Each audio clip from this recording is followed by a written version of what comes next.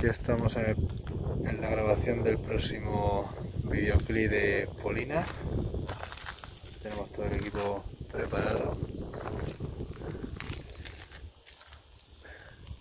Esta vez acompañándonos Juan Francisco Basaure Torres.